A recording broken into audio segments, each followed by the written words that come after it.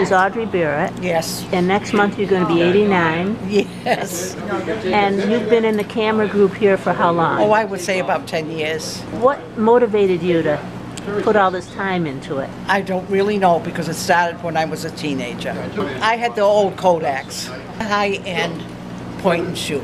But lesson learned. It's easy to use, it's not heavy, and it's got the zoom lens. I like to have a story with whatever I'm doing. And you did have a story last Friday, I think. Yes, yes. Can you tell me a little about that? Well, it's just that the, the procession of the funeral of the officer was very interesting. And it turned out to be that your street was blocked off Yes, because of it it was very private. And so you woke up and you saw all these police I cars saw, on yeah, your the, I saw the preparations. The K-9 unit was in front of the house. And what did you think? I'm going to get my camera? Well, I have the camera uh, uh, uh, in the room all the time. So you took some pictures to share with the group here. Yeah. What does photography do to enhance your life now? Well, it keeps me interested in doing something outside.